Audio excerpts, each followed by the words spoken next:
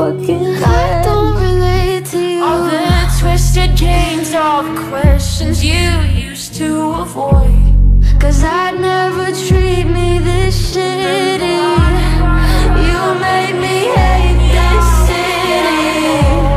And I don't talk shit about you.